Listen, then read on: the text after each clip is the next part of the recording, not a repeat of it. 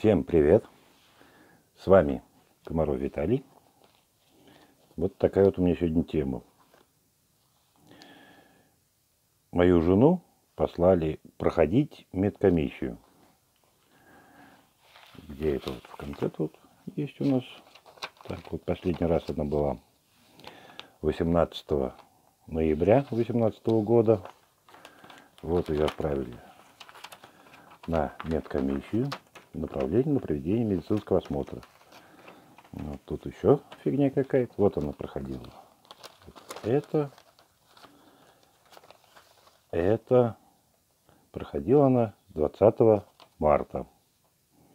Вот, все она анализы сдала. Вроде бы все хорошо, все прекрасно, все зашибись.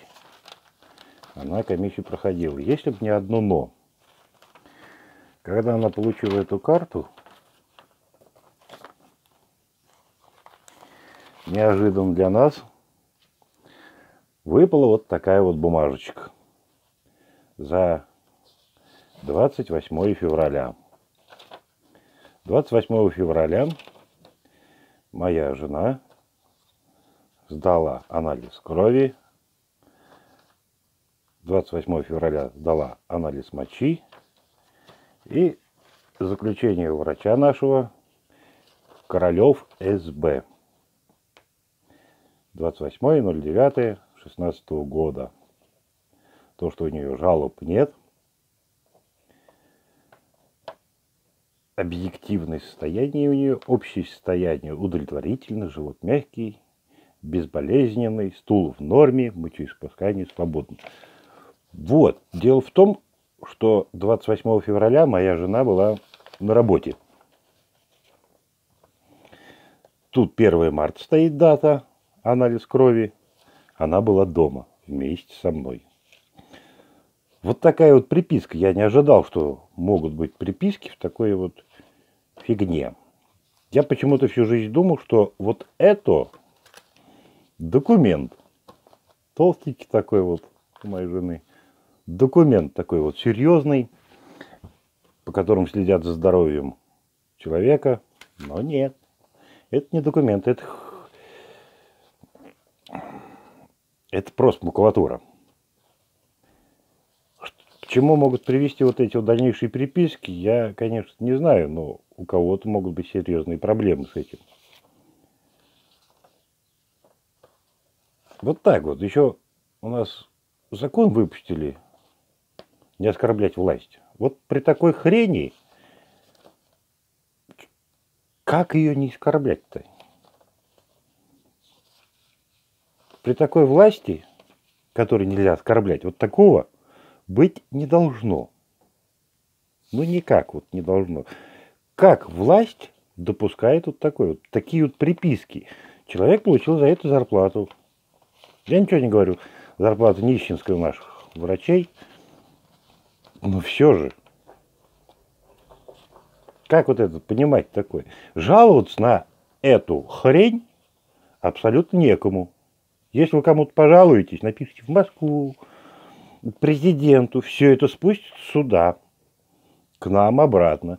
Все это будет видеть, выглядеть в виде приписки, что у нас все зашибись, что у нас все нормально, у нас рождаемость растет, смертность падает.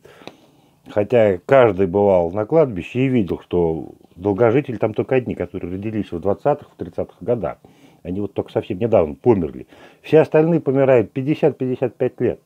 Это большая часть. И это власть ругать нельзя, которая допускает вот эту вот хрень. Эта власть находится, по крайней мере у нас, это Пензенская область, Башмакова. У нас есть глава администрации, который что-то там старается. У нас есть э, главврач, у нас есть прокуратура. К прокурору придешь, на тебя будет светиться его рожа. И на ней можно быть прочитать. Ну вот опять какой-то мудак пришел со своими проблемами, а тут у нас так много работы. Вот. Решайте сами. Я, например, советую, забирайте вы эти карты с больниц, как хотите, любым способом, но их карт, этих там в больнице, быть не должно. Они должны храниться у вас дома.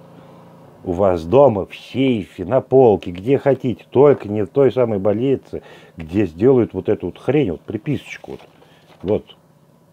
Первичный осмотр хирурга, этапный эпикриз. Д. Ай, возраст такой-то, столько-то лет, жалоб нет. На, находилась на лечении в ОКБ, операция 28.09. Ай, общее состояние удовлетворительно, живот мягкий, безболезненный, стул в норме, мочеиспускание свободное, на левом бедре, левой голени, после операционной рубцы. Вот. То есть жена моя в, в, моя в это время, она не была там. 28 числа она находилась на, на дневной смене. И мочу она никакую не сдавала, кровь она никакую не сдавала. Вот. И вы еще хотите, чтобы вас хуе... не крыль, так сказать. Все, я заканчиваю на это. Это дело ваше. Власть. Работает она с вами, с гражданами. Вы допускаете вот это вот такое. Будет еще дальше, будет еще хуже. Ничего хорошего в этом не будет. Все, на этом я закончу. До свидания.